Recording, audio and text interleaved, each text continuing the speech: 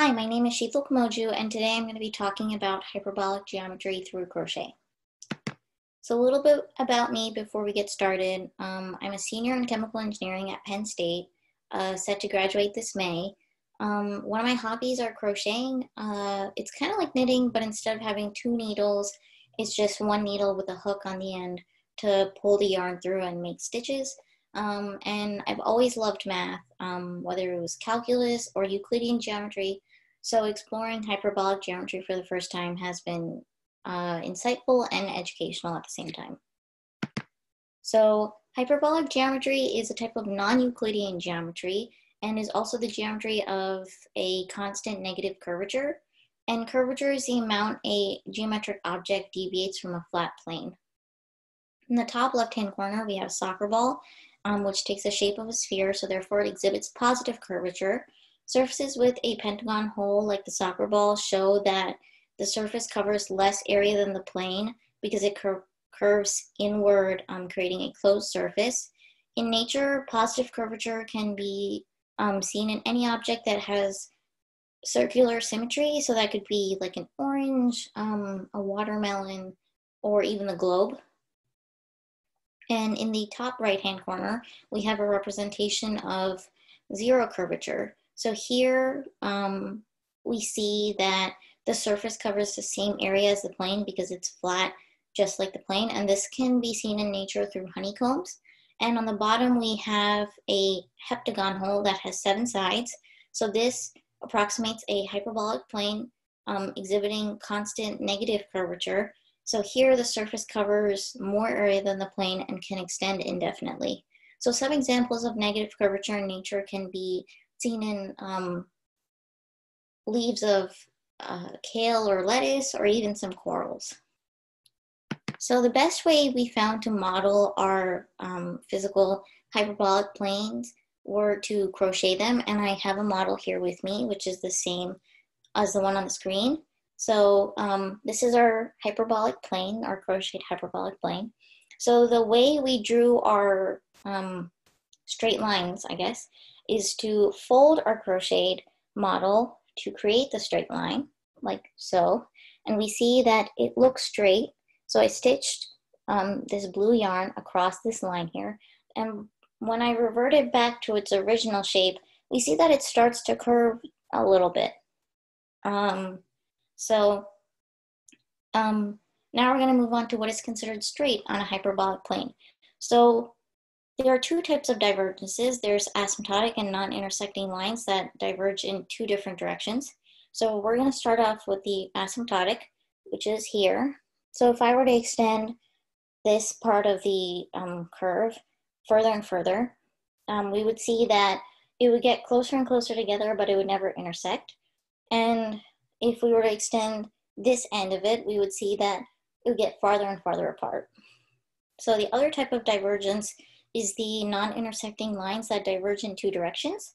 So here we see that at the two ends here and here, um, they extend, if they were to extend, they would go farther and farther apart, um, both here and here, but they would get closer in the middle. Now we're gonna move on to parallel lines on the Euclidean plane. So if I were to draw a straight line um, and draw a point that's not on that line, I would only be able to draw one line that's parallel to our original line M. Um, that would be parallel. And that's basically the parallel postulate on the Euclidean plane. So parallel lines on a sphere are a little different. So if we're, we're gonna assume that the blue great circle is our original circle and our point is right here. So in this example, we have two um, two great black circles. And, but in theory, we could have an infinite number of circles that go through this point here, um, but they would never be parallel to the a great blue circle because they would be intersecting with the blue great circle. So now we're gonna go on to parallel lines on the hyperbolic plane, and I have another crocheted model to show you guys. So here we have our blue line here, that would be considered our original line. um, with our blue point here. They're both the same color. So again, in theory, I can have an infinite number of lines here, but since I'm not able to draw an infinite number of lines, I have three lines kind of showing. So these three lines kind of show that um, they're parallel to these lines. So technically, um, in theory, an infinite number of lines would still be parallel to this line going through this point. And that's the parallel postulate for the hyperbolic plane. So now we're gonna go on to different representations for the uh, parallel postulate. So these would be great if we weren't, um, if we didn't have a physical model. So on, on the left, we have a Poincare model, which basically shows the parallel postulate in a circle. So to get the upper half plane model, I would take my boundary circle here and kind of just cut it off and stretch it into a straight line. So this straight line here would be our boundary circle. And this um, semicircle would be our original line and um, these other circles would be our lines that we drew that are parallel to the original line.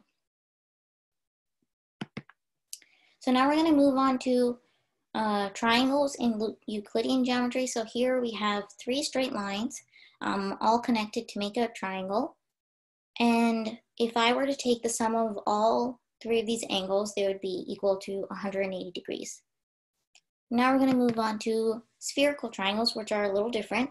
So here the lines are convex, meaning that they're curved outward, and the two black great circles intersect the blue great circle at right angles. So the sum of these angles right here would be 180 degrees, but this angle right here would be less than um, 180 degrees. So the sum of all three angles would be greater than 180, but less than 360. So now we're going to move on to triangles on the hyperbolic plane. And I have another model here. So here is my other model. And so here the lines are concave, meaning that they're curved inward. So the sum of the angles are going to be actually closer to zero on this model here because um, they're converging to the same point. So therefore this angle would be very small. But if I were to take the sum of all three angles, it would be definitely less than 180. And now we have another Poincare and upper half plane model. Um, so again, if I were to cut this boundary circle and stretch it into a straight line, I would have the upper half plane model and um, the semicircles that are the the lengths of each um, side of the triangle would intersect the boundary circle at right angles. So here, here, here, here would all be at right angles. Um, so we also explored other um, polygons uh, and we found that, for example, re rectangles, um, we found that they didn't exist on the hyperbolic plane. So I have the same model here and we can see that these three angles here are at right angles, but this fourth angle here um, it kind of it kind of shows an asymptotic curve. So this line would be less than um, 90 degrees.